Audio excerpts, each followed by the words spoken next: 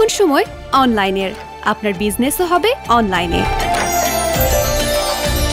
এই জন্য আছে বিক্রয় বাবা ডট কম বিক্রয় বাবা ডট কম আমার ডিজিটাল দোকান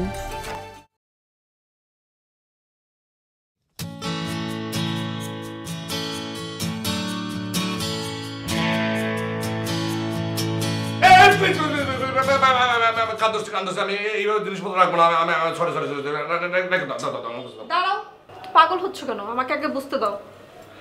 এই এই বাবা এই এত শোকাশোকির কি আছে? কিছুই পাবে না। দাও তো দাও তো দাও দাও দাও কিছু হবে না কিছু নাই। তুমি আমাকে দেখতে দিচ্ছ না কেন হ্যাঁ? অত পাগল হয়েছে কিসের জন্য তুমি? তুমি আবারও পট্টিতে গেছিলা? তুমি কি জীবনে ভালো হবা না? হ্যাঁ? ওই পট্টিতে না গেলে কি তোমার পেটের ভাত হজম হয় না? তুমি কি আমার কথা একবার ভাববা না? তোমার ওই পট্টিতে যাইতেই হবে? হ্যাঁ? কি সমস্যা তোমার? সমস্যাটা কি? আরে সমস্যা তো একটাই। বুঝো না কেন মানে আমি তো পড়তে ইচ্ছা করে যাই না, আমি তো সুখের জন্য যাই না, আমি যাই হচ্ছে আমার ব্যবসার কারণে।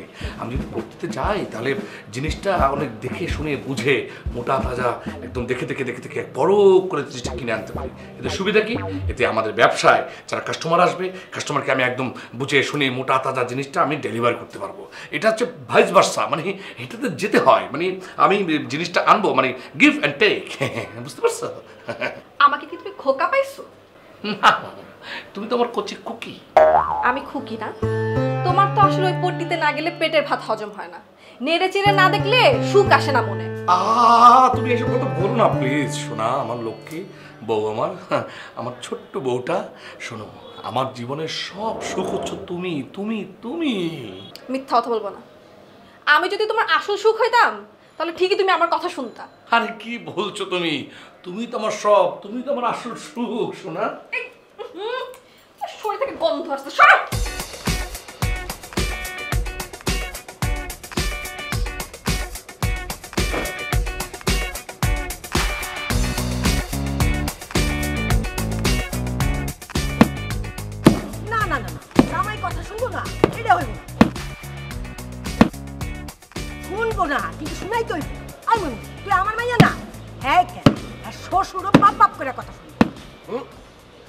এইটা কি কও?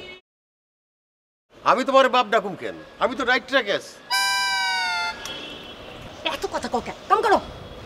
এক ইঞ্চিও ছাড় দিবি না বুঝছস? আর এখন যদি না পারো সারা জীবনও পারবি না। জীবনটা শেষ। মা এখন তার পট্টিতে জ কীভাবে থামাবো সেইটার বুদ্ধি দাও। এই অ্যাটাক আর অ্যাটাক আর শোন বশীকরণের ভ্যাকসিন দিতে দিতে পাগল বানায় জামাই পাগল হইলে কিন্তু মাইয়ার ভবিষ্যৎ অন্ধকার। হুম। এই বেকল বেটা আমার ভবিষ্যৎ বেশি বুঝে কাম করো। শোন মা রানা যতক্ষণ পর্যন্ত না সারেন্ডার করছে ততক্ষণ পর্যন্ত এক সুল ছাড় দিবি না। অ্যাটাক অ্যাটাক এবং অ্যাটাক অ্যাটাক ঠিকই বলেছ।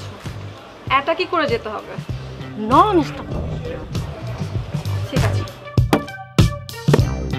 মা তোর পাশে শব্দ কিসের? তুমি আবার বাবাকে দিয়ে কাজ করাচ্ছ? তোমাকে না কতবার বলেছি? না না না না তুই কি কস? তোর বাপেরে দিয়া কাজ করা মুখেন আমি তো নিজেই করতেছি। তোর সবটা ছাদে দিছি তাই বাড়ি দিয়া দিয়া ধুল পরিষ্কার করতেছি।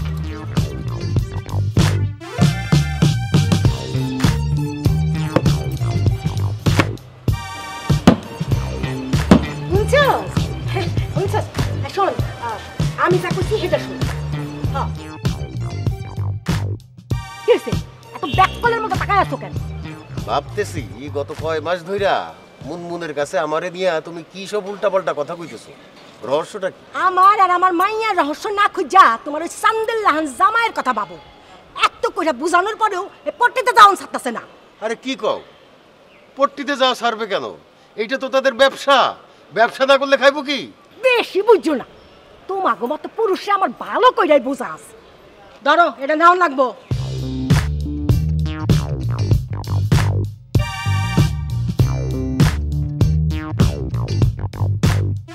দেখো রাইসা আমি কিন্তু আজকে বারবার বলতেছিলাম আজকে ওখানে যাওয়ার দরকার নেই। মানে তোমার যাইতেই হবে না। আরে বাবারে এখন এইখানে যাই তো এখন আমার মানে যাত্রা লেভেলের সমস্যা হইতেছে। মানে নিজেকে এখন মনে হইতেছে কি জানো? আমার এখন মনে হইতেছে আমি কিশোরের একটা গরু আমার নাতি গোষ্ঠী দুষ্টি মানে আমার একদম ঝাড়া করে মনে আর আমার স্ত্রী তাকে মনে হয় কি? বারান্দাদের কার সাথে তো ফুসুর ফাসুর করতেছো হ্যাঁ? আচ্ছা শোনো আমি তোমার সঙ্গে কালকে সকালবেলা কথা বলব, এখন রাখি হ্যাঁ? হ্যাঁ কি বলতেছিল? বলো। করো, কিচ্ছু বলব না, কোনো সমস্যা নেই। এখন বলো, তখন কি যেন বলতেছিলাম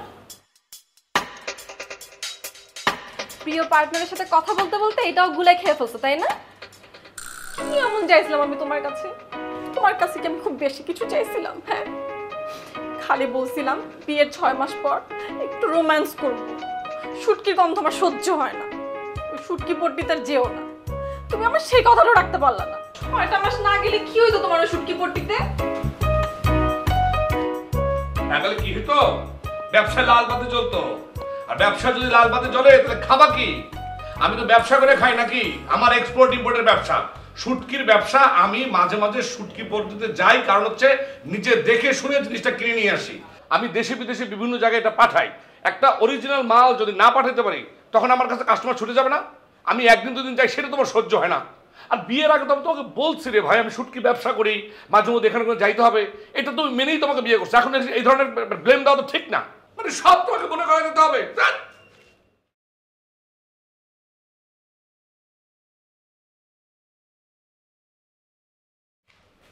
কি? এটা তো আমি ঝুড়িতে রাখছিলাম। তোমার এটার গন্ধে বমি আসে। এটা আবার এখানে কেন নিয়ে আসছো? আমি রাখছি কারণ আমি শুটকির গন্ধের সাথে মেয়েদের পারফিউমের স্মেলও পাইছি। হ্যাঁ এটা এটা আমি আমি রাইসার কাছ থেকে নিয়ে বডি স্প্রেটা মেরেছি আমার গায়ে। কারণ তুমি শুটকির গন্ধ পছন্দ করো না। সো এই কারণে আমি রাইসাকে বলেছি তোমার এই পারফিউমটা দাও আমাকে তা নাহলে বাসায় গিয়ে অনেক কথা শুনতে হবে এখন যেটা আমার শুনতে হচ্ছে। যখন যা মন যাবে সেটা আমাকে বুঝায় যাবে আর আমি তো পাইছো একটা বোকা আমি বুঝব। কি মনে করছ তুমি? পারফিউমের গন্ধের স্মেল আর কাউকে জড়িয়ে ধরার স্মেল আমি পার্থক্য বুঝব না হ্যাঁ? এই তুমি যেখানে যাও ওই মেয়েকে বগল দাবা করে তুমি সব সময় সব জায়গায় নিয়ে যাও। কি মনে করছ আমি কিছু বুঝি না? ওরে বউ আমার আদরের বউ আমার এই রাতের বেলা তুমি প্লিজ রেস্টিং এর খেলাটা খেলো না আমি তোমার সাথে পারব না। এইসব ইমোশনাল ব্ল্যাকমেল করে কোনো লাভ নেই। আই তুমি সত্যি করে বলো ওই রাস্তাকে তুমি জড়িয়ে ধরছো না? আরে বাবার আমি সত্য করে কইতেছি আমি এই সব কিছু চুয়ে বলতেছি। যারপর তোমার মনে হচ্ছে জড়াই ধরছি। তুমি বলো তোমাকে ছাড়া কোনোদিন কাউরে জড়াই ধরছি। ও এখন এর মানে তুমি চাও না? রাইসা তোমাকে জড়িয়ে ধরুক। তুমি থাকো একা। আরে আ-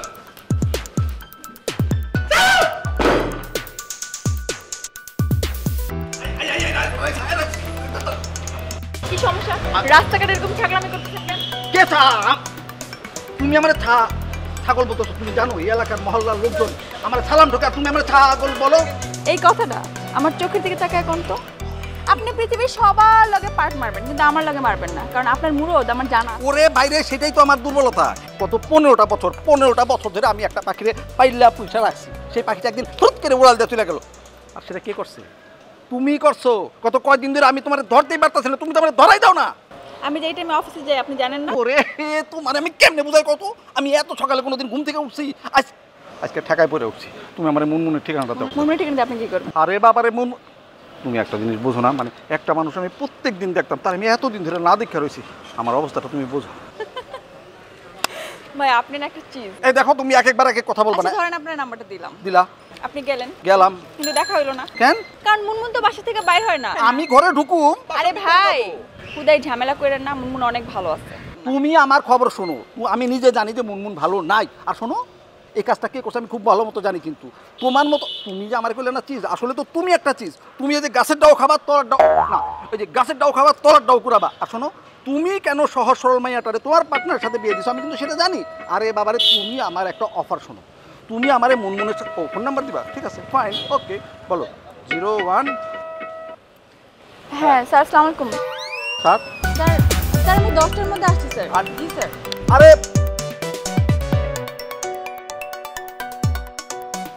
বাপ এত লাফাইতে লাফাইতে কই যাচ্ছ সাত সকালবেলা? কি বললা? কিসের বাপ? পুটির বাপ নামটা সুন্দর না? এই সাত সকালবেলা আমার জন্য যে এক কেজি পুটি মাছ নিয়ে আসলা তোমাকে আমি পুটির বাপ বলব না কি ইলিশের বাপ বলব? তুমি যে ইচ্ছা করে আমাকে শাস্তি দেওয়ার জন্য এতগুলা পুটি মাছ নিয়ে আসছো আমি তো ঠিক মতোই বুঝছিলাম এই অপবাদ দিও না শোনা পুঁটি মাছ তোমার পছন্দ সেই কারণে পুঁটি মাছটা নিয়ে আসছি। আর শুধু নিয়েই আসি নাই। আমি আধা ঘণ্টা দাঁড়ায় থেকে তারপর পুঁটি মাছ কাটাইয়া ওখান থেকে আসছি যাতে তোমার কোনো কষ্ট না হয়। আর তুমি এমন ভাবে বলতেছো নিজেকে মনে হচ্ছে কি জানো? নিজেকে মনে হচ্ছে আমি এটা মির্জাফরের জল্লাদ। আম সো সরি আমি সকাল সকাল না তোমার নাস্তা বানাতে বানাতে ঠিক মতো খেয়ালই করে নেই। আচ্ছা তুমি না পুটির বাপ না মির্জাফরের জগন্নাথ তুমি আমার আদরের স্বামী পুটু পুটু পুটু। এখন চলো নাস্তা খাব।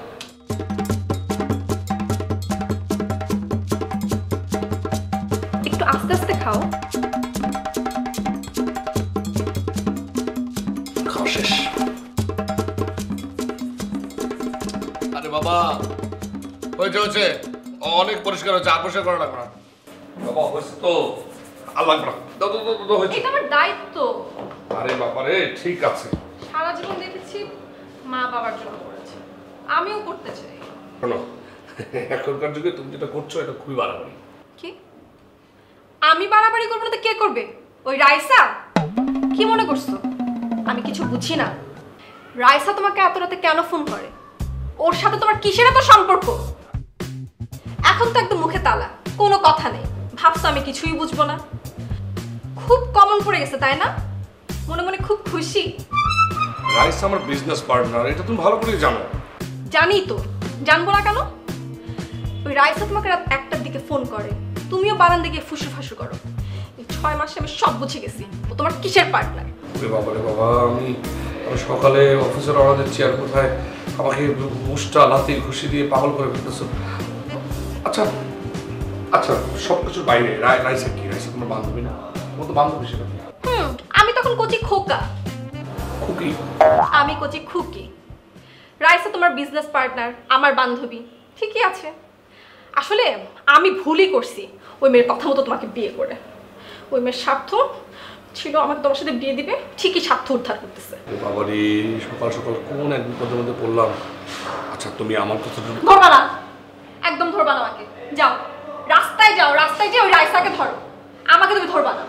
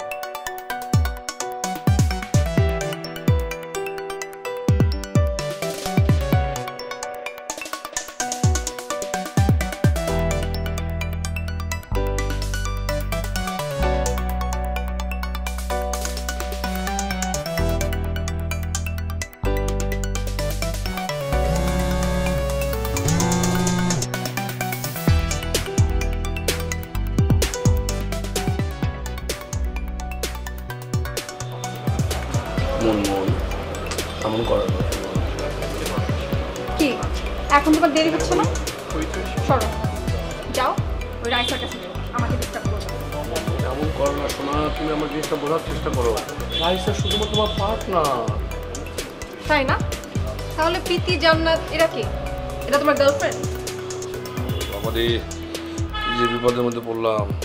দম আটকে গেল কেন? ভাবছ আমি কীভাবে জানলাম? আমি সবই জানি। যাও, এখানে থেকে কিচ্ছু হবে না। যাও অফিসে যাও। সবাই তোমার জন্য ওয়েট করতেছে।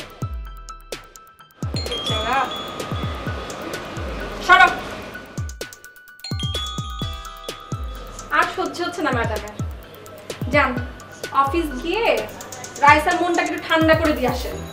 প্লিজ প্লিজ তুমি রাব বিহেভটা করো না। প্লিজ আমার ব্যবসার অনেক ক্ষতি হয়ে যাবে। তুমি যেভাবে চাইবে সেভাবে হবে। Please please.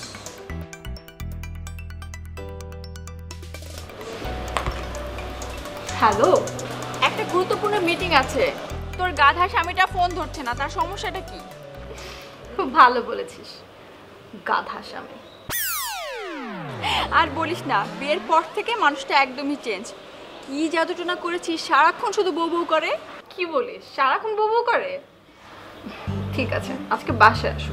আমি ইচ্ছা মতো বকে দিব তার আগে বল, আমার বউ পাগল ভাইয়াটা কি বাসা থেকে বের হয়েছে? হুম, ও তো মাত্রই বের হয়ে গেল। বাজারে গিয়েছিল, আমার জন্য পুঁটি মাছ কিনতে। তাই একটু লেট হয়ে গেছে। তুই এক কাজ কর না, তুই তো এখন আর বাসাটা আসিস না আমার। আজকে কাজ শেষ করে ওর সাথে চলে আয়। আমরা একসাথে তিনজন অনেক আড্ডা দিব। আচ্ছা ঠিক আছে আসব। শোন আমার একটা গুরুত্বপূর্ণ মিটিং আছে। আমি দেখি ভাইয়া কত দূর। এখন আমি রাখছি হ্যাঁ? ওকে হ্যাঁ বাই এভাবে তাকিয়েছো কেন? ও কুটির। একটু আগে তুমি আর এই তুমির মধ্যে তো আমি একজনই। এখানে ফোন ধরবে না? যাও রাস্তায় গিয়ে ফোন ধরো। তোমার অনেক ইম্পর্টেন্ট মিটিং আছে।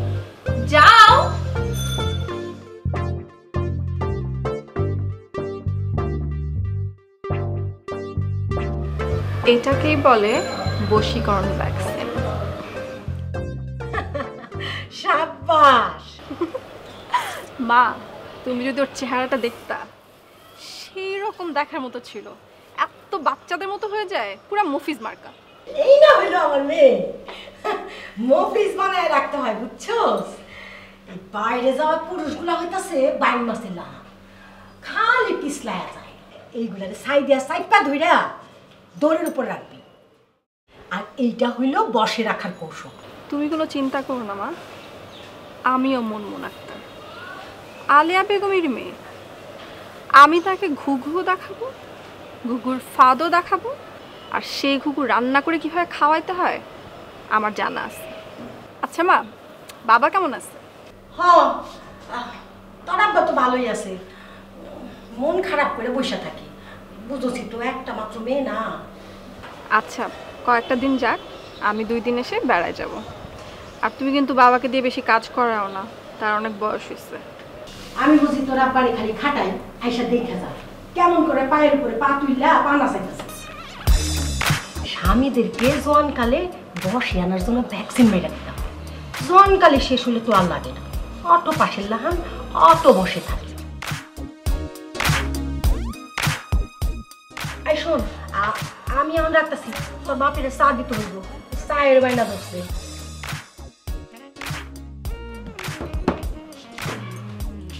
কি হইল? এমন করে শুয়ে পড়লা কেন? আমার শাড়ি ডলবো কেডা? কেন? তুমি না একটু আগে মন মনটা কইলা আমি খাটে শুয়ে শুয়ে পাওনা চাইতেছি। ও, পাওনা ঠিক মতো হইতেছে না। হুম এইবার দেখাও তো ঠিক মতো হইতেছে কিনা? হুম? মনে বা যেটা কইছি এটা ভালো মতো করে করো কইতাছি।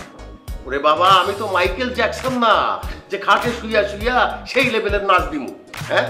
আমার নাম মুকিত মিয়া ওরফে মুনমুনের বাপ এর চেয়ে ভালো নাচ আমি দিতে পারুম না এইটি আমার সর্বোচ্চ দোষ কি সব পাগলামি করতেছো? এই শাড়ি ইস্তারি করব কেডা?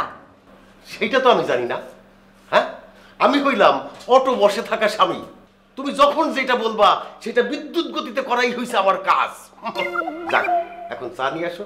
আমার খুব তাড়াতাড়ি চা খেতে হবে। চা খাইয়া পানাসানি বন্ধ করিয়া আমার শাড়ি ইস্তারি করে দিবা তো? আগে চা নিয়ে আসো। তারপরে চিন্তা করিয়া দেখা যাবে। আর আমি তো অটো বসে থাকা স্বামী। এই পা নৃত্যের প্রথম দিবস। এত ভালো তো হয় নাই। প্র্যাকটিস করতে করতে সব ঠিক হয়ে যাবে। One cup T please.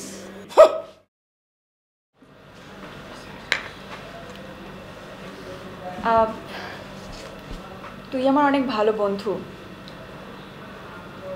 একসাথে বড় হয়েছি পাশাপাশি ফ্ল্যাটে থেকেছি। তুই কিছু মনে না করলে তোকে খোলাখুলি কিছু প্রশ্ন করতাম। ও মা তোর কি আবার আমাকে জিজ্ঞেস করতে হবে? তোর মনে যা আছে প্রশ্ন করে ফেল। আচ্ছা আমি যে তোর বিয়েটা দিয়েছি আমি কি তোকে ঠকিয়েছি? মানে আমার ভাইয়াটাকে অনেক খারাপ? হ্যাঁ আল্লাহ। কি বলছো? আই আমি কি তোমাকে কখনো বলছি তুমি খারাপ? হ্যাঁ? দেখ আমি তোকে সাক্ষী রেখে বলছি। ওর মতো ভালো স্বামী আমি আর দ্বিতীয়টা পাবো না। তাহলে এত সমস্যা কেন? মানে তুই এত সন্দেহ কেন করিস? তোর যদি কোনো প্রবলেম থাকে তুই আমাকে সরাসরি বললেই তো পারিস। সন্দেহ করব আমি? দেখ আমার মনের মধ্যে কোনো সন্দেহ নেই। আর কোনো সন্দেহ থাকলে আমি তোকে ডিরেক্ট এসে জিজ্ঞেস করতাম। আর তুমি? তোমাকে কি আমি কখনো বলছি? রাইসা তোমার গার্লফ্রেন্ড তোমার ওর সাথে সম্পর্ক আছে? বলো। এই রাইসা তোর সামনেই তো আছে। জিজ্ঞেস কর আমি তোকে নিয়ে কিছু বলেছি কিনা? আর যদি কিছু বলে থাকি তাহলে তুই আমাকে যে শাস্তি দিবি আমি মেনে নিব। কি ব্যাপার ভাইয়া? কথা বলছো না কেন? এখন বলো ও তোমাকে কি বলেছে? ও সত্যি বলেছে না মিথ্যা বলেছে? তুমি বলো। না আসলে তো ওইভাবে কিছু বলার নাই। আমার তো মনে হয় আমি একটু বলেই আটকে।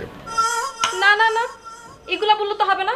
যা কথা হবে ফেস টু ফেস তুমি আমার পিঠ পিছে বসে আমার বান্ধবীর কাছ থেকে সুবিধা নিবা তা হবে না। দেখ রাইসা আমি খালি বলছি তুই আমার অনেক ভালো বান্ধবী এবং ওর ভালো একটা পার্টনার কি বলো বলছি না? হ্যাঁ সেটা ঠিক আছে কিন্তু এটাও তো বলছো যে আমার শার্ট থেকে মানে সেন্টের ঘ্রাণ আসে। আরে আল্লাহ তুমি দেখে মজাও বুঝো না। ও হচ্ছে তোমার সব থেকে কাছের শালী। যাও তুমি এখনই ওকে একটু ধরে দেখো আমি তোমাকে কিছু বলি কেন। যাও! এইটা কি পাগলামি টাইপের কথা বলছো?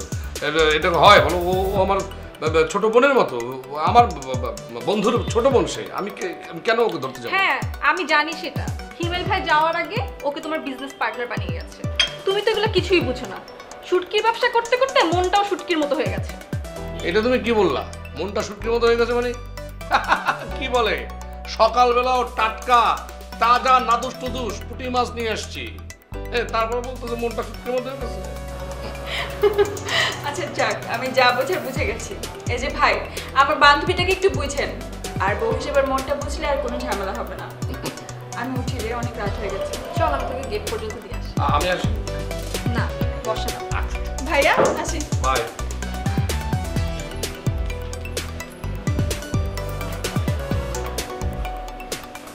আল্লাহ রে আল্লাহ মানুষের মন বোঝা আর বহুদের মন বোঝা এর বিস্তর ফারাক মনমন এটা তোমার কৌশল। গায়ের দিনে সব কিছু ঠিক ছিল জানো?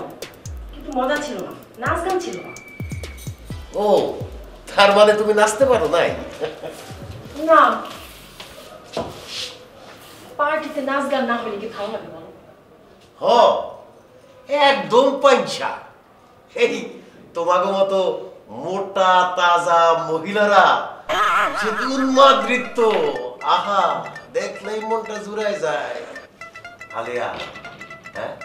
তোমাকে মতো মহিলারা হেডি মেকআপ মাইরা, এত এত গহনা পইরা কুমোর দুলাইয়া নাচতাছে নাচতাছে আর নাচতাছে আহ আই লুচ্চা বেটা। চোখ বন্ধ করে শুট না হইতেছে না। এর জন্য তো তোমারে আমি কোনো পার্টিতে নেই না। ক্যারেক্টারলেস চাই বাসো নাহলে রাইতের খাবার সকালে খাইতে হইতো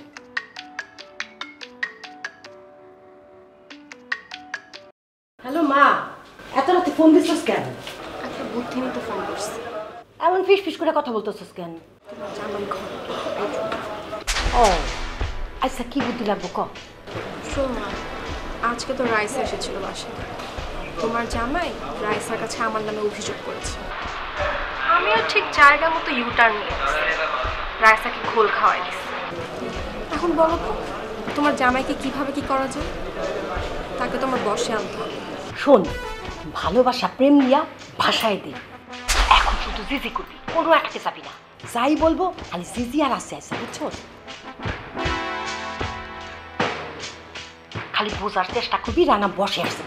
আর যদি বস না মানে তাহলে কি করব? ওপরে ওটা শোন একটা কথা সব সময় মনে রাখবি জোয়ান কালে যদি বসে আনতে না পারস সারা জীবন ঘানি টানতে হবে বুঝছস? হুম। তুমি কোনো টেনশন করো না মা। বশীকরণের ভ্যাকসিন কীভাবে ভর্তা করে খাওয়াতে হয় সেই ছলাগুলো আমি শিখে গেছি। এখন শুধু টাইম মতো তাকে খাওয়ায় দেওয়ার পালা। আচ্ছা। এইটা হইল গিয়ে তাহলে আমার কাছ থেকে ইউটার্ন মারার কারণ। শাশুড়ি আম্মার কারণে আমার বউ খারার উপরে ইউটার্ন মারতেছে। কারণটা এবার তাহলে আবিষ্কার করে ফেলাইলাম মা আব্বা কি করছে? ওষুধ খাচ্ছে তো ঠিক মতো। তুমি কিন্তু আবার বেশি রাত জাগাও না। এমনিতেই তার শরীরটা ভালো না। হ্যাঁ হ্যাঁ আমি ওর রাত জাগামো কেন? ওরে তো কখন আমি খাওয়াই দেওয়া শোয়াই দিছি? মনে হয়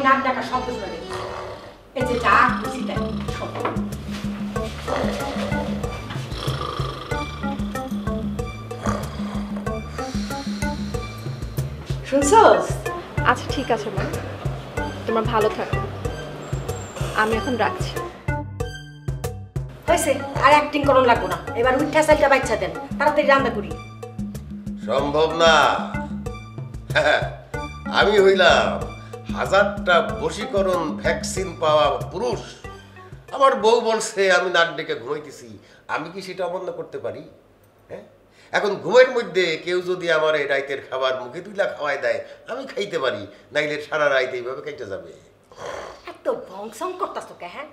আমি না হয় আমার মেয়েরে একটু বানাই বানাই কথা বলি। তাই বলে তোমার সব কিছু করতে হইব? শোনো, বেশি বাড়াবাড়ি করে না কইতেছি। যা কইতাছি তা শুনো, নাহলে সারা রাত না খায়া থাকতে হইব। আলেয়া আলেয়া, শুনো। সারাটা জীবন আমার বশীকরণের জন্য তুমি অনেক কিছু করছ। মাথার থেকে কুবুদ্ধি বাইর কইরা কইরা আমার বশীকরণ করার চেষ্টা করছ। আমি কিচ্ছু বলিনি, সব মাইনা নিছি। এত কিছুর পরেও তোমার সাথে সুখের সংসার সাজাইছি। কেন জানো? শুধুমাত্র আমাদের মেয়েটার জন্য। সেই মেয়েটার জীবনটা তুমি নষ্ট করে দিও না, প্লিজ। কি? কি বললা তুমি? আমি আমার মেয়ের জীবন নষ্ট করতেছি। আমার মেয়ে আমার সৎ মেয়ে। তুমি তো পুরুষ মানুষ। তুমি কি জানবা প্রসব বেদনা কারে বলে? এই পেটে আমি দশ মাস, দশ দিন ওরে ধরছি। বুকের দুধ খাওয়াইয়া লালন পালন করে ওরে আমি এত বড় করছি। আর ওরে আমি, ওর জীবনটা ধ্বংস করব। এটা বলার আগে তোমার বুকটা কাঁপলো না একবারও। আমি এমন করে আমার মেয়ের আগলাই রাখব। আমার মা আমার সেমনে করে আগলাই রাখছিল। আবার তুমি আমার ভুল বুঝলা, আলেহা। মনে রাখো যুগ পাল্টাইছে। আমাদের সময় আর ওদের সময় এক না। একটা সত্য কথা মনের ভিতরে গাইথা নাও। রানা কিন্তু আমার মতো না। তোমার কিন্তু শেষমেশ পস্তাইতে হবে কানতে হবে বলে দিলাম। কানলে কানবো তবু তোমার মতো পুরুষের কথা আমি শুনব না।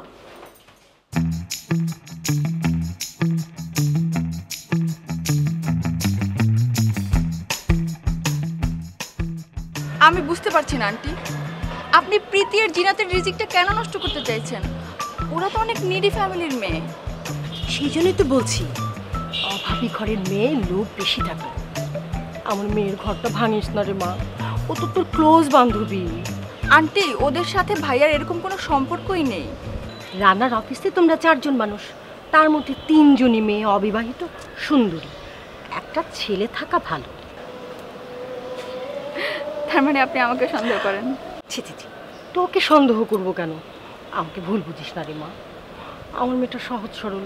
বুঝিসই তো মায়ের মন। আমি তো ওই দুটা মেয়েকে সন্দেহ করছি।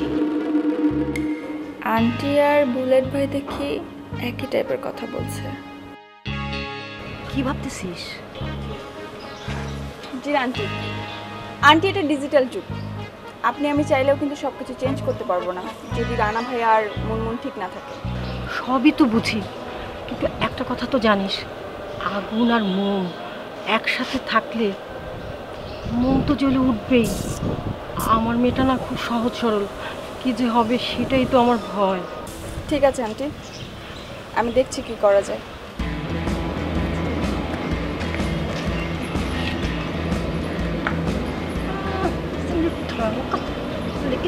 দেখি আরে আমি তো তোরেই সতর্ক করছি।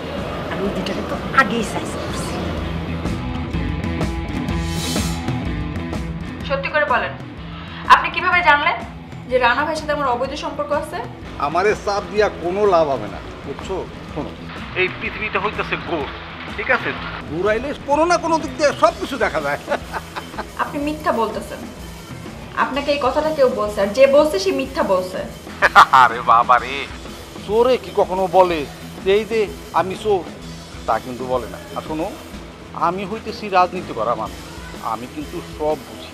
এই ঘটনা যদি মিথ্যা হইতো না তাহলে এই অসময়ে তুমি আমার ফোনটা অন্তত দিতে না। ও সমস্ত কথা বাদ দাও। আমি তোমার যে অফারটা দিছি না সেটা অ্যাকসেপ্ট করো। দেখবা সব আন্ডার কন্ট্রোল হয়ে গেছে। আচ্ছা ঠিক আছে। আপনি তো রাজনীতিবিদ। একটা কাজ করেন আপনি গিয়ে মুরমুনের হাজব্যান্ডের সাথে আগে দেখা করেন। তারপর তাকে দেখে যদি মনে হয় যে তার মধ্যে ঘাপলা আছে তখন আমি আপনার হেল্প করব। পোল্ট্রি বাজ মায়া আবার কোনো চালাকি করতেছে না তো কি ব্যাপার? চুপ করে আছেন কেন? মুনমুনকে দেখার জন্য আপনার মনটা উতলা হয়ে আছে। যা দেখে আসেন। আপনার পাখি তো ভালোই আছে। আচ্ছা ঠিক আছে। তুমি আমারে ঠিকানাটা দাও। আমি কালকে যাই দেখা করব এখন সময় অনলাইনের। আপনার বিজনেসও হবে অনলাইনে। এই জন্য আছে বিক্রয় বাবা ডট কম লগ ইন করুন বিক্রয় বাবা ডট কমে নিজের মতো সাজিয়ে নিন আপনার ডিজিটাল দোকান। যেখানে সেখানে যখন তখন কেনা বেচা হবে ইজি অ্যান্ড সিম্পল বিক্রয় বাবা ডট কম আমার ডিজিটাল দোকান। ঠিক আছে। আমি আপনাকে এস এম এস করতেছি।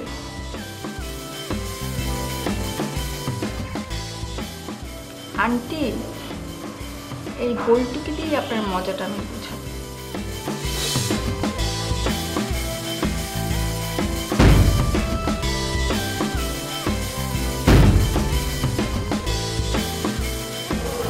বুঝাবো আমি এত ভয় কেন পাইতেছি আমি একটা জিনিস বুঝলাম না আমি এই মেয়েটার সামনে আসতে তো ভয় পাই না আজকে আজকে ভয় পাই আজকে ভয় পাবো না আজকে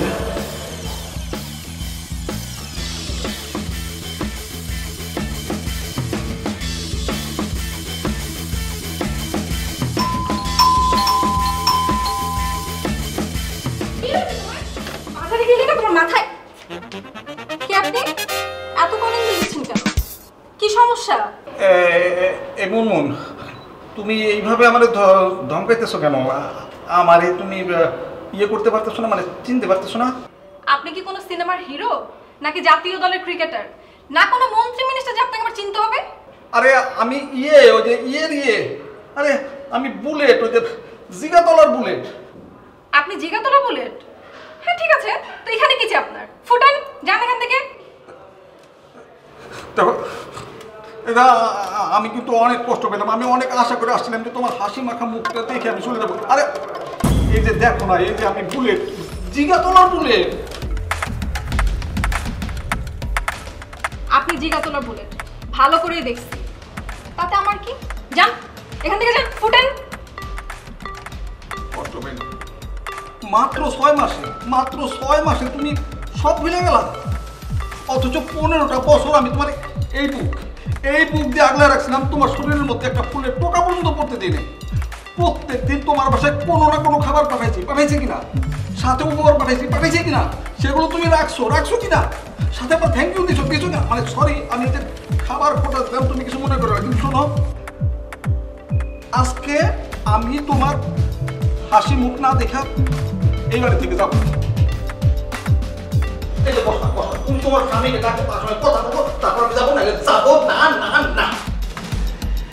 বলো ভাই, প্লিজ প্লিজ, এখান থেকে এখান থেকে চলে যাও। ও এসে পড়ে যদি দেখ- ফেলে সর্বনাশ হয়ে যাবে। প্লিজ, এই যে, আমি হাসতেছি। আমি জিগাতলায় এসে অনেক গল্প করব, আর সারাদিন আমি হাসবো। এখন প্লিজ, যান।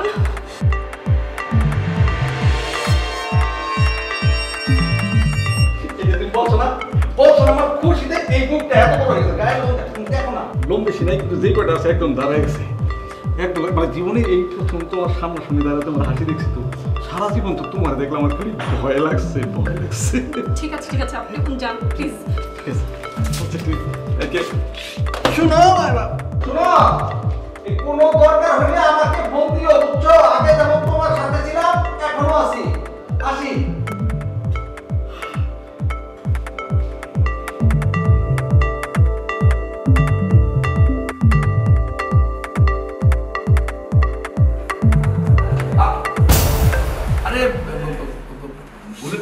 কেমন আছেন? হ্যাঁ ভালো মানে আপনি আমাকে ইয়ে করেন মানে চেনেন? আর ইয়ে করে চেনে মানে আপনাকে না চিনলে হবে? আপনি জিগাতলার বুলেট ভাই না?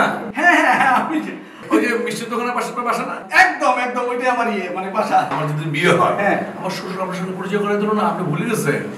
হ্যাঁ কিন্তু যে আপনি আর আমি মুনমুনের হাসবেন্ড ও হ্যাঁ তাই তো তাই তো বলে চেনা চেনা লাগছে আপনি আমার সঙ্গে দেখা না করে কোথায় যাচ্ছেন? চলেন। না ঠিক আছে আরেকদিন আসব আরেকদিন এসে না এটা বললে হবে না আপনি আসছেন দেখা না করে না, আরেকদিন আরেকদিন। বুলেট না। শোনো, শোনো, শোনো, শোনো। আসেন বুলেট ভাই। এ- এ- এই তো ধরো, ধরো। একটা বুলেট ভাই আসছে ওরা একটু চা খাব আসেন প্লিজ ভাইয়ের জন্য একটু ব্যবস্থা করো। আসেন আসেন। না না সাহেব আপনার সাথে কথা বললাম খুবই আরাম পাইলাম ভাই।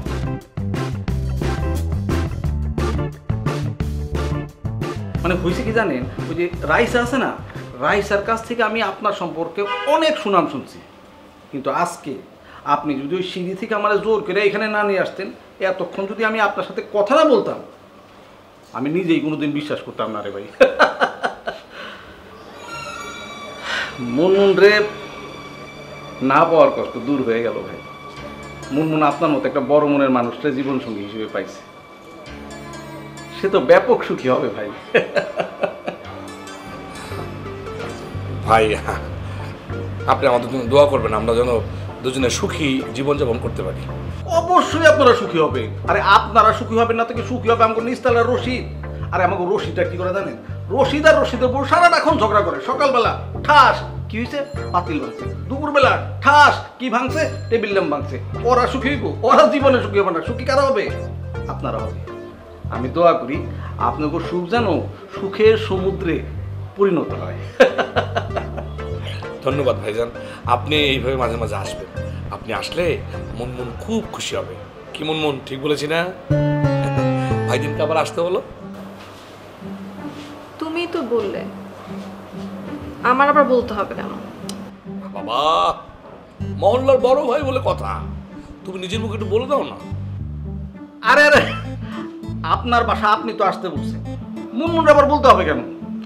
আমি এখন যখন সময় পাবো, সুযোগ পাবো, আপনার বাসায় ঠাস করে চলে আসব। শোনেন না, আমি আমার মহল্লায় যা কি বলব জানেন?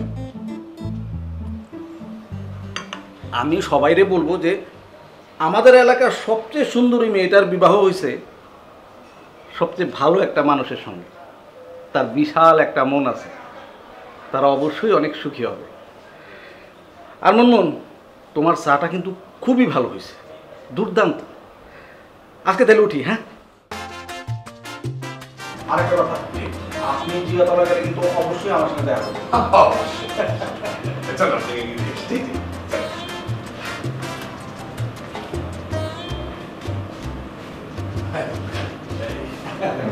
আসসালামু আলাইকুম।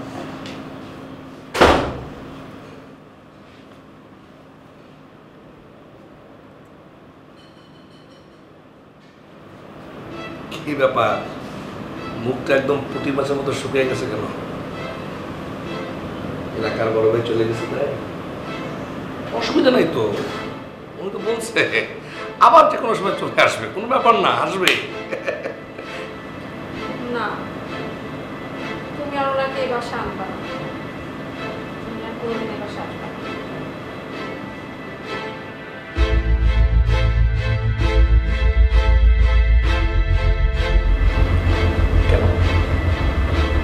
বাসায় আসতে কোনো সমস্যা নেই। আসবে না কেন? ও, বুঝতে পেরেছি বুঝতে পেরেছি। মানে আমি দেখে ফেলেছি তাই? এটা তো কোনো ব্যাপার না। বিয়ের আগে এমন দু একটা সম্পর্ক থাকতেই পারে। আমি এসব একদম কিছু মনে করব না। কি সব বলতেছো তুমি এগুলা? আমার সাথে ওনার কোনো সম্পর্ক ছিল না। উনি আমাকে অনেক পছন্দ করতো আর বিয়ে করতে চেয়েছে এইটুকুই ব্যাস। না না, সেটা তো ঠিকই আছে। উনি তোমাকে ভালোবাসতো আর ভালোবেসে তোমার জন্য খুব সুন্দর সুন্দর দামি দামি খাবার পাঠাতো, ফুল পাঠাতো বল পাঠাতো, বেল পাঠাতো, তাল পাঠাতো, কত কিছু পাঠাতো। আর তুমি কত সুন্দর করে সেগুলো রিসিভ করতে এবং একটা সুন্দর থ্যাংক ইউ বলে তাদেরকে বিদায় করে দিতে। হুম? আর শোনো, এটা কেনই বা করবে না? তোমার মতো এত সুন্দরী, এত মহিয়সী এত মনে করো যে রূপবতী, পবিত্র মেয়ে, এলাকাতে থাকলে, এরকম লাইলি থাকলে মজনুরা ক্রাশ খাবে, তার জন্য এসব পাঠাবে, এটা তো খুবই স্বাভাবিক। আমার প্রশ্ন হচ্ছে। আর বলো না। বলো বলো, কোনো সমস্যা নাই। যদি বলতে না চাও তাতেও কোনো সমস্যা নেই। শোনো, এই যে আজকেই আমি একটা শক্তমুক্ত দেখে একটা দারোয়ান রাখব। হুম? সেই আমাকে টান টান খবরটা জানাবে, ঠিক আছে না, বাবু?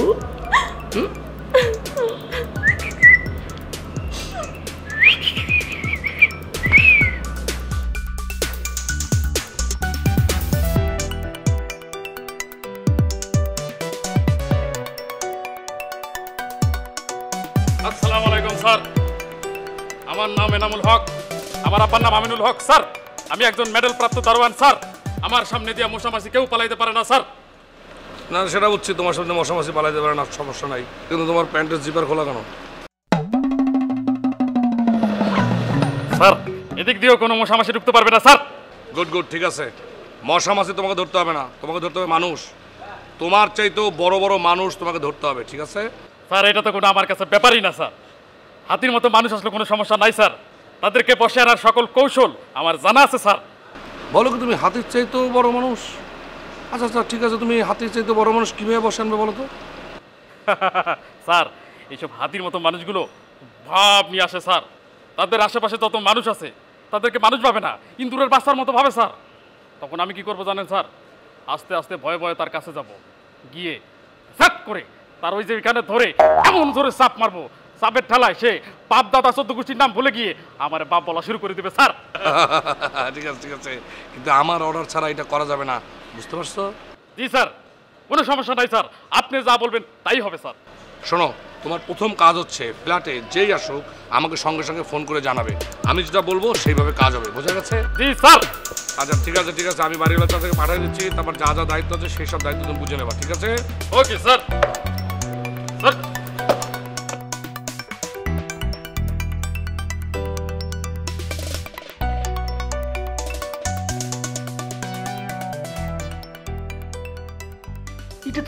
করলা বাপ? আমি তোমার এত করে রিকোয়েস্ট করলাম তুমি তো আমার কোনো কথাই শুনলা না। তোমার আমি কি করছিলাম হ্যাঁ? আর তুমি কি করলা? দেখো আমার মাইয়ার যদি কিছু হয় তাহলে কিন্তু আপনি চুপ করে থাকেন মাথা মোটা মহিলা। আমি তো না সবসময় তিন লাইন বেশি বোঝেন ও কাকা তার একটু মুখটা বন্ধ করতে বলেন তো। এই তুমি একটু মুখটা বন্ধ রাখো তো। আচ্ছা তুমি মুনমুনের লগে কেন দেখা করতে গেছিলা? কত বাবা। মা মা মানে হয়েছে কি কাকা? মন মুন্ডে দেখার জন্য ওই মনটা ছটফট করতেছিল দেখতে চাইছিল। এখন মনের উপরে তো আর জোর দিতে পারি না কাকা আপনি বলেন আমারে। এই জন্য গেছিলাম। তোমার এই মনের জন্য তো এখন জামাই বিগড়ে গেছে। এ শোনেন আপনি রানা সাহেবের নিয়ে উল্টাপাল্টা কোনো কথা বলবেন না। উনি খুবই ভালো একটা মানুষ। মুনমুন কপাল গুনে ওইরকম একটা জামাই পাইছে। উনি লাখে একটা মানুষ ভাই। এইটা তুমি ঠিক বলছো বাবা। কিন্তু বাবা তুমি মুনমুনের কাছ থেকে আসার পরে মুনমুন তোমার আন্টির ফোন করল। আর তারপর থেকে তোমার আন্টি কেমন ছটফট শুরু করছে। শোনেন আন্টি, মুনমুনের জামাই একটা খাঁটি মানুষ। আমি আমি তো রাজনীতি করা মানুষ। আমার চোখ দিয়া আমি একটা মানুষের মুখ দেখলে কিন্তু ঠিক বুঝতে পারি কে ভালো, কে মন্দ। এই যে আমার তার মুখ দেখলে কিন্তু বোঝা যায় একটা সহজ, সরল, একদম গো বেচারা টাইপের মানুষ। আর আপনার আপনার মুখ দেখলে বোঝা যায় আপনি একটা জাকা নিজে ভালো হয়ে যান দেখবেন সব কিছু ভালো হয়ে গেছে। তোমারে আমি বলছিলাম অঘরে অগমত থাকতে দাও। কিন্তু আমার কোনো কথা তো তুমি শুনলা না। বাইরের মানুষ দিয়ে কি সংসারে শান্তি হয় বরং অশান্তি বাড়ে? তোমারও আমি বলছিলাম তুমি অনেক বিয়ার দাওয়াত দিও না। তুমি কি শুনছো? তুমি কি বললা?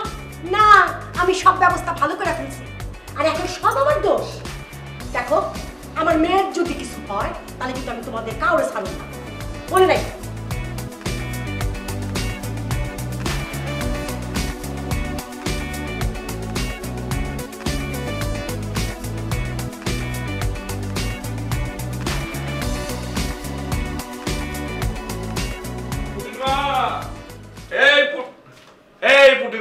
তুমি এখানে বসে বসে শোক পালন করতেছো? আর ওইদিকে তো বুলেট ভাই তোমার নামে পুরা মহল্লাতে মিষ্টি মিলাইতেছে। তোমাকে কে বলছে? ওই রাইসা? আরে না না না না না তুমি কি ভাবতেছো? তুমি যেটা ভাবছ এসব কিছুই না। তোমার বান্ধবী আমাকে স্ট্রেট বলে দিয়েছে সে অফিসের বাইরে আমার সঙ্গে কোনো ধরনের কোনো কথা বলবে না। তাহলে শয়তানটা তোমাকে কল করে বলেছে তাই না? হ্যাঁ ধরা পড়লে তো সবাই মানে সব প্রেমিকটাই শয়তান হয়ে যায়। একটু আগে আরও তিনজন আসছিল। তিনজন।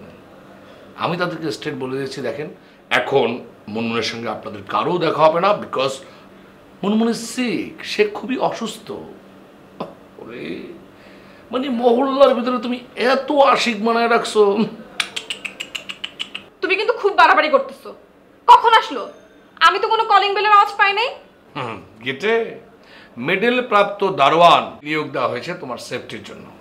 কারণ খুব ভালো করে জানতাম, তুমি যে কোনো সময় ইউটার্ন মারতে পারো, পোলট্রি খেতে পারো। সেই কারণে আমি আমার মোবাইলে সেলফি তুলে রাখছি। তিনজন আসছিল। মিষ্টির দোকানদার সুমন, মুদির দোকানদার রফিক ভাই আর বুলেট ভাইয়ের ছোট ভাই রাকিব। আমি একটা জিনিস বুঝি না, তুমি তো এলাকার ভিতরে একদম সকলের হৃদয়ের রানী। এমন বাজে কথা বলবা না। আমি কিন্তু রাগ করে বাপের বাড়ি চলে যাব। হ্যাঁ তুমি রাগ করে চলে যাবা? হুম? তুমি কি মনে করছ আমি বুঝি না? আমি কি করছি খোকা? আমি পিঠের খাই। তোমার বাড়ির সবাইকে দেখতে খুব ইচ্ছে করছে। মাসখানেক তাদের সঙ্গে দেখা করতে পারো নাই যোগাযোগ করতে পারো নাই। সেই কারণে তোমার মনটাও উতালা হয়ে গেছে। এই কথাটা বলতে তোমার লজ্জা লাগছে শোনা একদম বাজে কথা বলবা না। খুব খারাপ হবে কিন্তু বলে দিচ্ছি। শোনাও। তুমি রাগ করতেছো আমি কি একবার বলছি ওরা তোমার সঙ্গে প্রেম করতে চায়? আচ্ছা ঠিক আছে। তুমি তাহলে চলেছো সমস্যা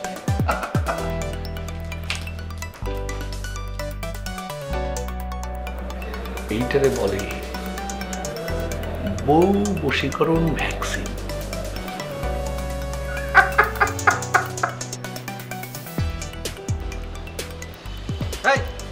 আসসালামু আলাইকুম ভাই। ওয়ালাইকুম কি আমি তো নাকি? এত বারবার ফোন আমি তো বুঝলাম না কিছু। ভাই অনেকক্ষণ ধরে খাড়া রয়েছে রোদ্রের ভিতরে কি খাড়া হয়েছে? কি হয়েছে কি বল। মুনমুনের জামাই আপনারা লয়ে যেতে কইছে সকাল সকাল। তো এই কথাটা তুই আমার এতক্ষণ বলবি না?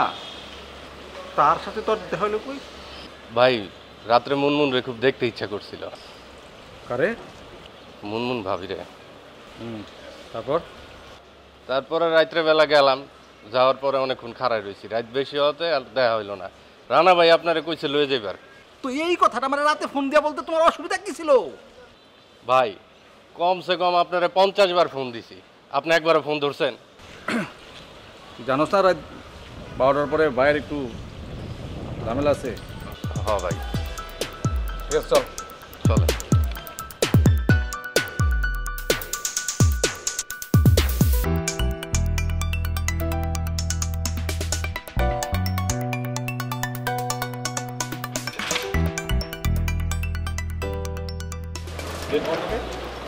আমি যখন ট্রেনে এলাম ট্রেন থেকে বন্ধ পাইনি। না বন্ধ তো আসছিল না। বন্ধ ছিল না তখন কারণ গেট খোলার লোক ছিল না। আরে কথা কয় কেডা? এ কারও তো দেখি না।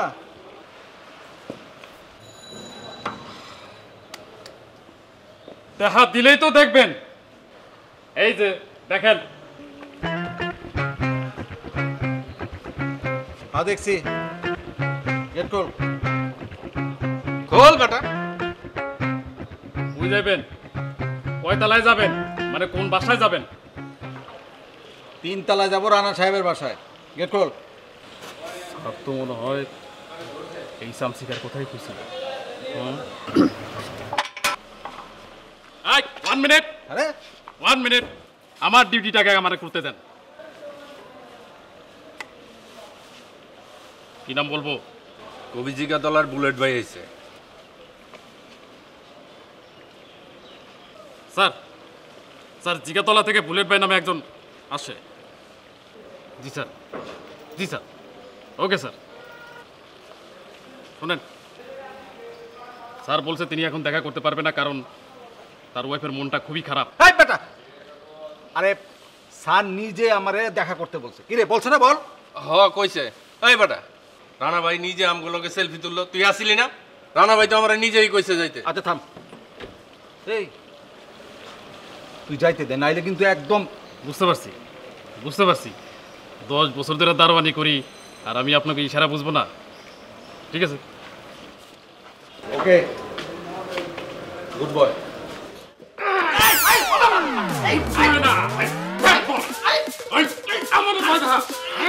এই মেডেল প্রাপ্ত দারোয়ানের পয়সা তোরে তো সাইন্স করার জন্য স্যার আমার নিয়োগ দিছে।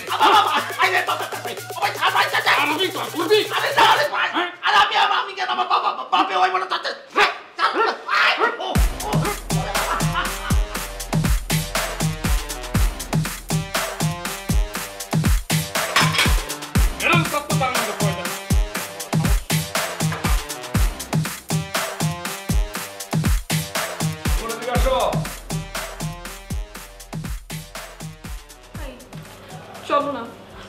এই বাসাটা ছেড়ে চলে যাই আম সো সরি আমি তোমাকে অনেক অনেক পচা কথা বলি, আর কখনো বলব না।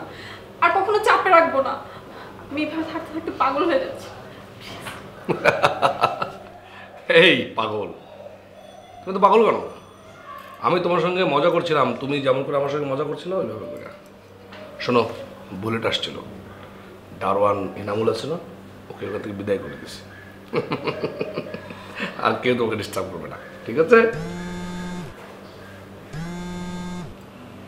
হ্যালো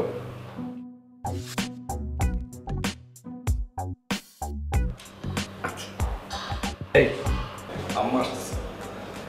আম্মা যেহেতু আসতেছে তুমি ওনার সঙ্গে গল্প করবে, অনেক মজা করবে তোমার মন ভালো হয়ে যাবে। আর ব্যাগটা যেহেতু গুছায় রাখছো, চলো, আমরা কয়েকদিন তোমাদের বাড়ি থেকে ঘুরে আসি, তাহলে আরও ভালো।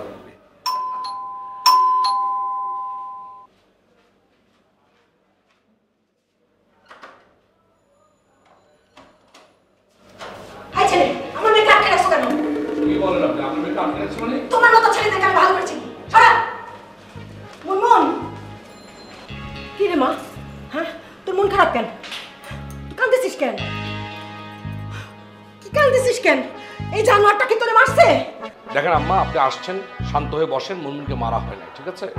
চুপ! আমার মেয়েকে না মারলে আমার মেয়ে কাঁদতেছে কেন?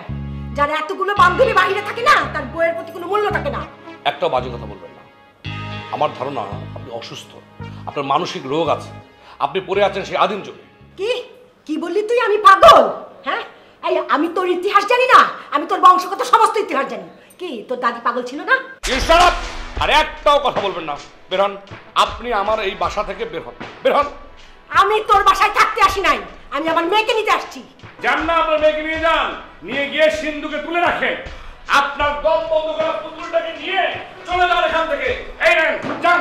আমার যা বলার আমার শ্বশুর আপনার সঙ্গে আমি কথা বলব। যান। দেখলি? দেখলি কত বড় জানোয়ার? চল আর এক মুহূর্ত না।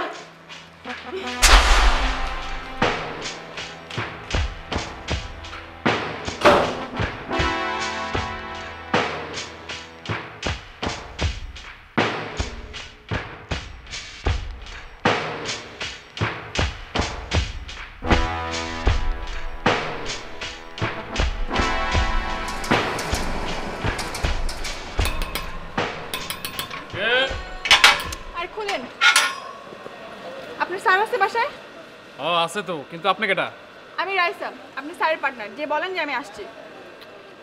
স্যারের শাশুড়ি আইসা স্যারের পরে নিয়ে গেছে। সেই থেকে তো স্যার কারও ফোনেই ধরতেছে না। আপনার ফোনে ধরতেছে না? না। ও মাই গড আমার সাথে চলেন তো চলেন চলেন। আচ্ছা। কি ব্যাপার? দরজা খুলে কেন? ভাইয়া?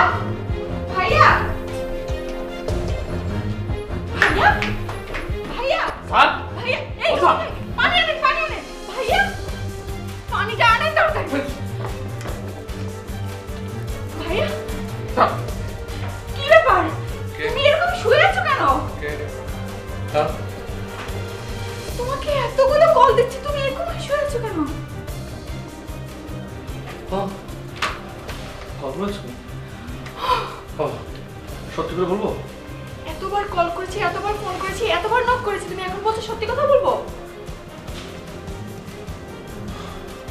ও মাই গড। সাতাত্তরটা মিস কল এতবার ফোন করেছ? ভালো করেছ। এই আসলে হয়েছে কি অনেকদিন পর মানে খুব আরাম করে মোবাইল সাইলেন্ট করে ঘুমিয়ে পড়েছিলাম। তুমি কি মানুষ? না আমার শাশুড়ি বলছে আমি একটা জানোয়ার। ওসব কথা রাখো। তুমি এখন আমার সাথে চলো। মুনমুন তোমার সাথে ব্যাক করতে চায়। অনেকগুলো কল করেছে। কল করেছে সে তো তোমার মতো আমার কাছে ছুটে আসে নাই। আরে আসতে দেয়নি আন্টি ওকে ব্ল্যাকমেল করেছে। আমি জানি আমি জানি সন্তানের উপরে মায়ের অধিকার সবচেয়ে বেশি। তো কিছু হলেও বাবা হিসেবে তো কিছুটা অধিকার আছে। সেই অধিকারের জায়গা থেকে বলছি আলিয়া প্লিজ প্লিজ মেয়েটার জীবনটাকে ধ্বংস করে দিও না। না এই জানোয়ারটার সাথে সংসার করা মানেই আমার মেয়ের জীবন এমনি অন্ধকার হয়ে যাওয়া। তুমি তো দেখো নাই ওর বিভৎস চেহারাটা আমি দেখেছি। উফ এখন আমার মনে হলো আমার মনে হয় আমার মেয়েটাকে গলা টেপে মেরে ফেলতেছে। না চল চল। আজকের দিনটা একটু দেখি। ও যদি আজকে না আসে কাউ যাবে। সারাটা রাতই তো দেখি। কই এসেছে? আসেনি তো না?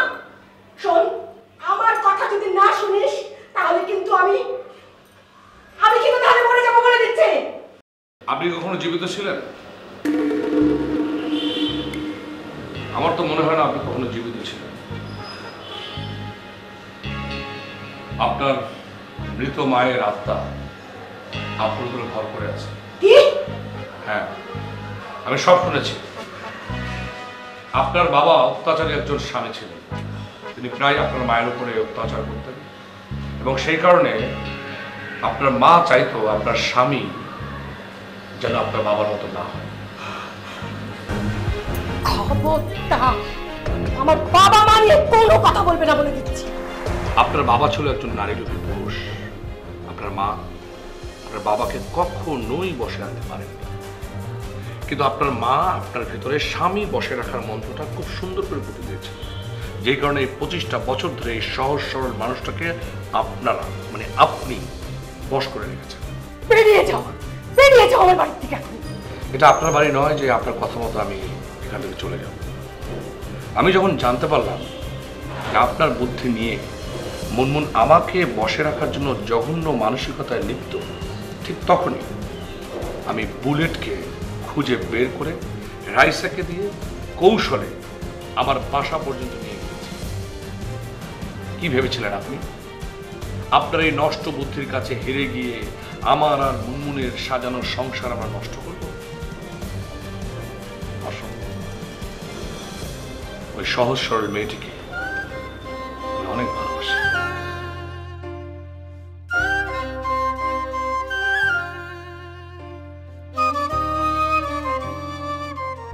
তোমার সামনে ওই জানোয়ারটা আমাকে অপমান করতেছে। তুমি কিছুই বলতেছো না। ও, বলবে কেন? তুমিও তো একটা পুরুষ মানুষ। অসভ্যের মতো চিৎকার করো না। এই পুরুষের অর্থ আর প্রতিপত্তি নিয়েই তো তোমার বাহাদুরি। তুমি আসলে একটা বাজে মহিলা। কি? আমি বাজে মহিলা? আমি? তুই তো একটা লজ্জা তুই একটা লম্পট একটা শয়তান। সারা জীবন তোমার চিৎকার শুনেছি আজ না। এতদিন এতদিন আমি তোমার বসে ছিলাম শুধুমাত্র মেয়েটার জন্য। আজকে এই মেয়েটার জীবন নিয়ে তুমি যেভাবে চিনিমিনি খেলছো তোমার বসে থাকার আমার কোনো প্রয়োজন নেই। বেরিয়ে যাও বাড়ি থেকে। বেরিয়ে যাও!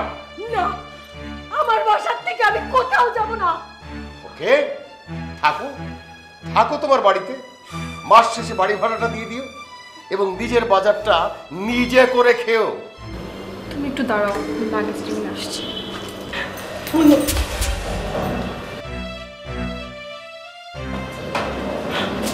মারে আমি এখন কি করব রে মা আমি কি করে বলব তুমি কি করবে আমি সারা জীবন আমার স্বামীর সাথে থাকতে চাই।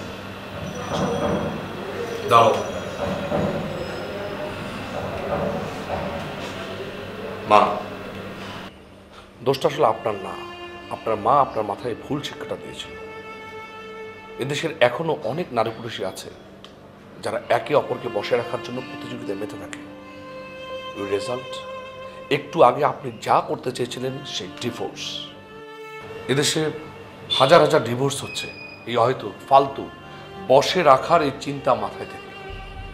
আমার আর মনমনের মধ্যে ডিভোর্স হওয়ার মতো কোনো যৌক্তিক ঘটনা কি ঘটেছে বলে আপনার মনে হয়? ঘটেনি। মুনমুন মুনমুন তুমি বলো, আমাদের মধ্যে কি এমন কিছু দেখেছ এমন কিছু ঘটেছে যেটার জন্য তুমি আমাকে ডিভোর্স দেবে কিংবা আমি তোমাকে ডিভোর্স দেবো? আমি তোমাকে ডিভোর্স দিতে চাই না। আমি সারা জীবন তোমার সাথে সংসার করতে চাই। দেখেন মা আমি যদি এখানে হঠাৎ করে না আসতাম তাহলে আপনি কি করতেন? আপনি জোর করে হলেও ওর সঙ্গে আমার ডিভোর্সের ব্যবস্থা করতেন। ওর সাথে যদি আমার ডিভোর্স হতো তাহলে অবস্থাটা কী হতো একবার ভেবে দেখেন। সারাটা জীবন যে সন্তানটাকে আপনি গর্বে ধারণ করেছেন, তার কাছে আপনি অপরাধী হয়ে থাকতেন। দেখেন মা, স্বামী আর স্ত্রী, তাদের মধ্যে যদি পারস্পরিক সৌহার্দ্যবোধ, শ্রদ্ধা, সম্মান, ভালোবাসা এগুলো থাকে, তাহলে বসে আনার দরকারটা কি? প্রয়োজনটা কি বলেন? এমনিতে তো সংসার অনেক সুখের মারে আমি অনেক খারাপ মা। আমি আমার নিজের হাতে আমার মেয়েটার সংসারটা ভেঙে দিতে চাইছি। আমার এতে মাফ করে দে। লগ ইন করুন বিক্রয়বাবা ডট কমে নিজের মতো সাজিয়ে নিন আপনার ডিজিটাল দোকান। যেখানে সেখানে যখন তখন কেনা বেচা হবে ইজি অ্যান্ড সিম্পল বিক্রয় বাবা ডট কম আমার ডিজিটাল দোকান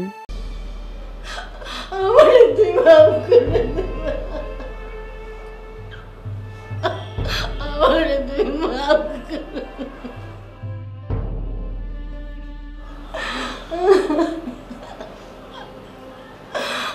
얼마나 그러나